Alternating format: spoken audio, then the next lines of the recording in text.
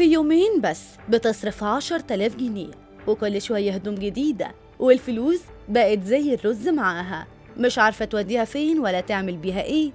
حالها اتقلب ما بقتش سوزي الأردنية اللي الجمهور عارفها وحبها وده بسبب تلقائيتها وكلامها اللي مش بيعدي على دماغها الأول. سوزي اللي في قلبها على لسانها بتشارك الجمهور كل صغيرة وكبيرة في حياتها الكل شاهد على علاقتها بحبيبها واللي سابوا بعض كتير وخلع منها أكتر من مرة. بس هي صممت ترجع له وحصل. يا ترى ليه سوزي بتصرف المبلغ ده كله؟ جبت منين الفلوس دي كلها؟ إيه اللي حصل بينها وبين حبيبها؟ طارق علشان كده سابها.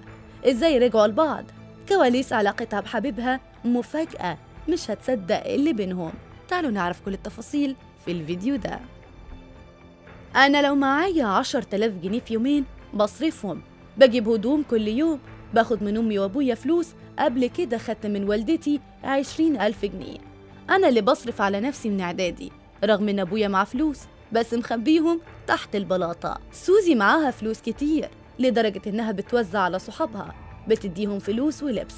قالت إن جالها تعب في جسمها بسبب إنهم كانوا بيلبسوا مكان بعض. سوزي الأردنية مستعدة تعمل أي حاجة وكل حاجة. بس المهم تتشهر وتلعب بالملايين. ما تكونش الملايين مجرد رقم بيتابعها بس لا تلم من وراهم ملايين الدولارات بحق حقيقي. لدرجة إنها استغلت علاقتها بأبوها في البداية خالص. بقت تعمل فيديوهات تقلل منه وده علشان تحقق أعلى المشاهدات. فعلا نجحت تعمل ده بكل سهولة رغم كل الانتقادات والهجوم عليها وقتها. سوزي في حوارها في برنامج تفاصيل على صدى البلد. قالت إنها مش بتدخل في تحديات ولا بتعمل جولات live مع حد. كل اللي بتعمله تطلع live لوحدها وتدردش مع الجمهور. وأكتر مبلغ بيجيلها في ال live الواحد هو 4000 جنيه. مش زي ما الناس فاكرة. الغريب إنها مش فارق معاها شهرة ولا فلوس. أيوة هي قالت كده. سوزي قالت إن اللي يفرق معاها إنها لما تتمشى في الشارع وحد يشوفها يبقى مبسوط مش متضايق منها. الأغرب بقى إنها قالت إن لبسها قبل السوشيال ميديا كان مكشوف وجريء جدا ولكن هي احتراما للجمهور بقت تلبس لبس مناسب علشان محدش ينتقدها. أنا في حاجات كتير قوي بطلت ألبسها. كنت بدخل جمعيات علشان أقبضها وأقدر أشتري لبس الناس تحبني منه. علشان كده واخدة وضعها جدا في منطقتها. سوزي ساكنة في المطرية. أهل الحتة عندها بينادوها بالفنانة راحت الفنانة جت. قالت إنها بتحس إنها حاجة تقيلة في البلد وبتمشي يا أرض تهدي ما عليك يأدي. طيب إيه طبيعة علاقتها بطارق حبيبها؟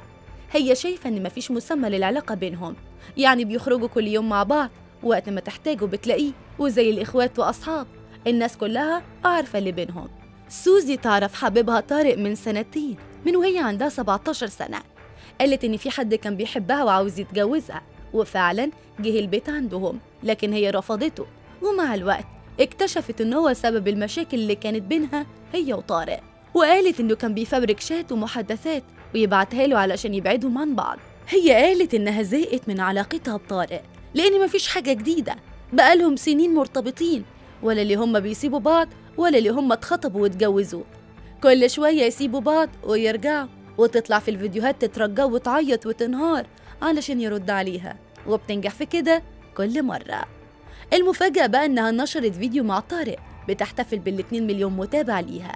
قالت عارفة إن في ناس كتير مش حبانا سوا وشايفينك إنك مش أحسن حد بس حقيقي أنت العوض الوحيد اللي ربنا عوضني بيه وأكتر حد فهمني وحبيتك بجد.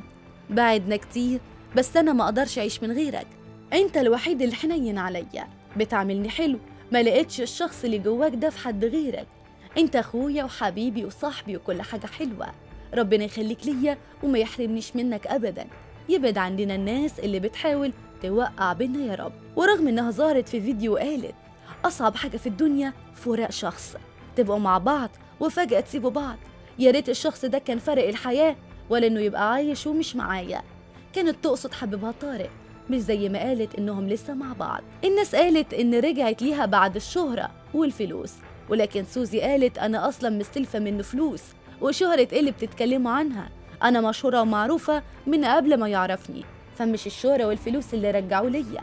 هو قال إنه مالوش في ال social media مش بيعرف يتكلم قدام الكاميرا. مش خوف منكو لكن هو كده. بيحاول يخلي اللي بينه وبين سوزي سر لكن سوزي ما عندهاش أسرار وكل حاجة أنتم عارفينها فيا ترى مصير علاقة سوزي بحبيبها هتكون إيه؟ هل ممكن يتخطبوا ويتجوزوا ولا هتنتهي ان كل واحد يروح لحاله؟ أنتم شايفين إيه؟ هل لايقين على بعض ولا لا؟ شاركوني برأيكم في التعليقات